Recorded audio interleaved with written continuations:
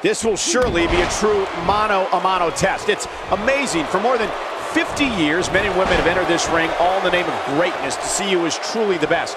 I think when it's all said and done, we'll be talking about this match for a long time. Well, in these head-to-head -head matchups, you've got no one to rely on but yourself. And that's the way it should be. Mano a mano. One fall will decide it. But I know one thing. The city of Buffalo has undergone a dramatic transformation. And these fans look revitalized as well.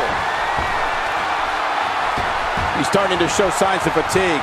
With these two guys, we all knew this was going to be an all-out battle. And it looks to me like neither of these guys are showing signs of pulling away here. It's a good point, John. And I'd say this match is about as even as it could get at this point.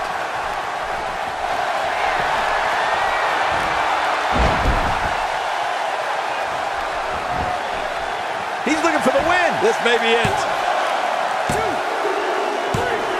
The match is over. That's all she wrote.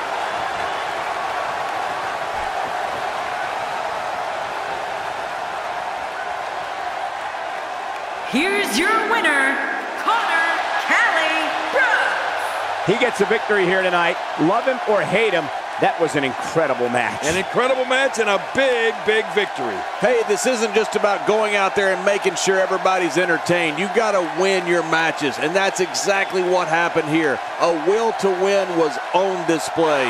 What amazing action we're seeing here at the Royal Rumble.